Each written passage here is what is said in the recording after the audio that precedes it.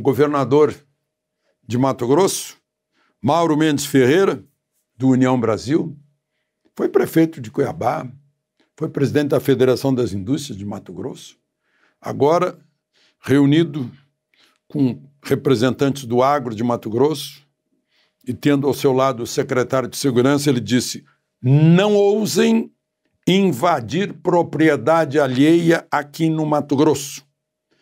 Dei ordem ao secretário de Segurança, e o secretário de Segurança balança a cabeça. Tolerância zero para esse crime. Quero dizer a todos os matogrossenses que o governo do Estado de Mato Grosso terá tolerância zero com qualquer tipo de atividade de invasão, qualquer tipo de atividade criminosa. Determinei aqui ao secretário de Segurança Pública, Rovelli, que possa prontamente agir para defender a integridade a vida das pessoas.